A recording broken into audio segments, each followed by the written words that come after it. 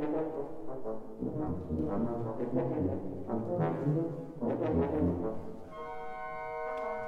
lassen Sie mich doch Ihre Karte sehen.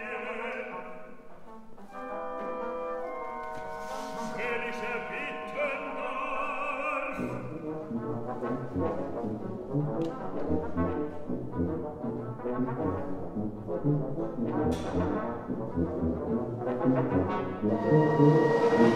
you.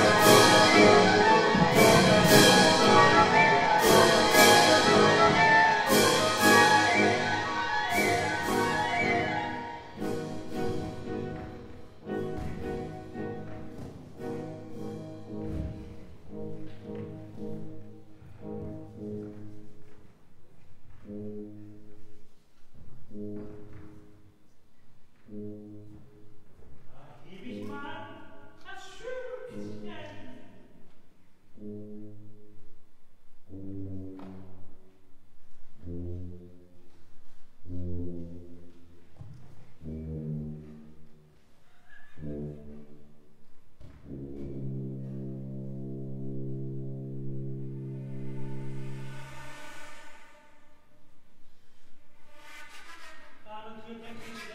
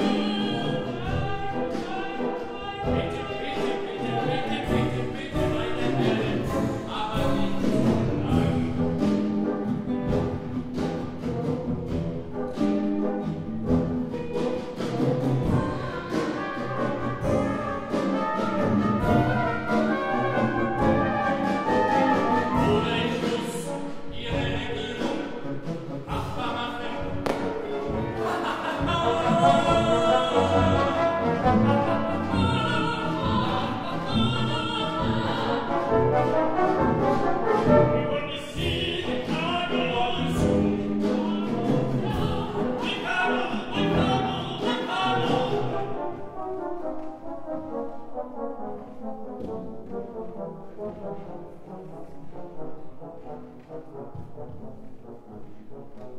you.